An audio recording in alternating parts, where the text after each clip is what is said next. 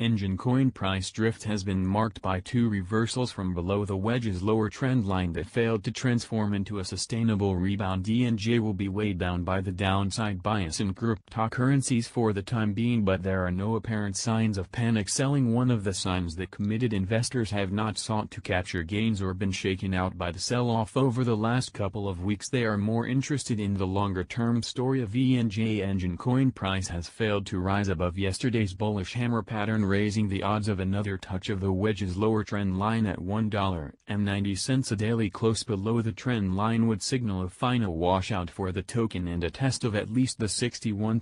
Fibonacci retracement of the 2021 rally at $1.61 and maybe the 100-day simple moving average, SMA, at $1.47 Thanks for watching.